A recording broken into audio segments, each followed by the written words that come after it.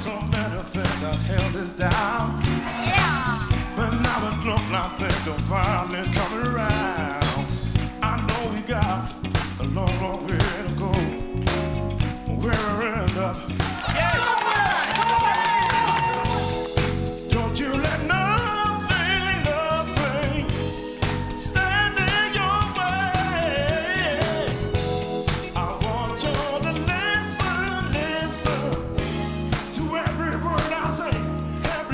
myself.